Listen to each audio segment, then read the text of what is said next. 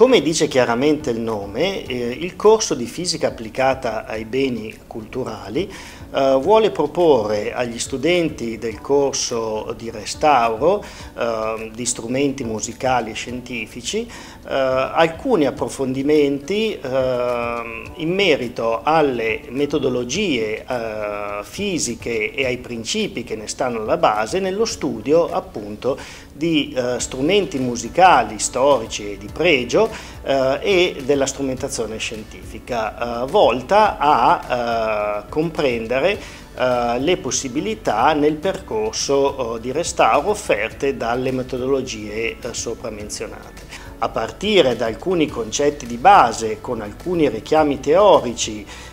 senza approfondimenti eccessivamente formali, si cercherà di trasmettere allo studente le nozioni di base e le possibili applicazioni di differenti metodologie fisiche dedicate al restauro di strumenti scientifici e musicali.